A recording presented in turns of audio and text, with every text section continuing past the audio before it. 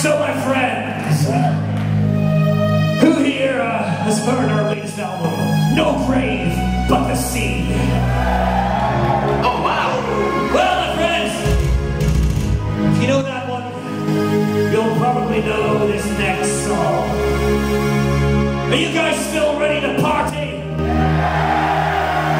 Ready, Joel?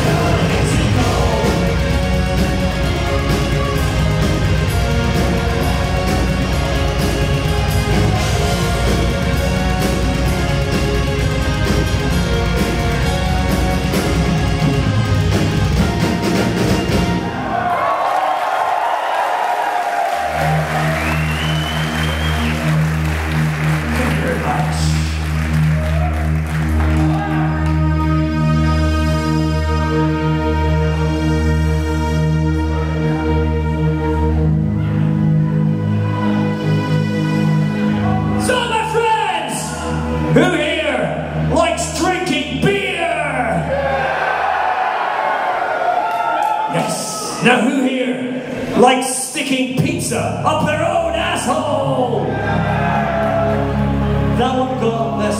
Anyway,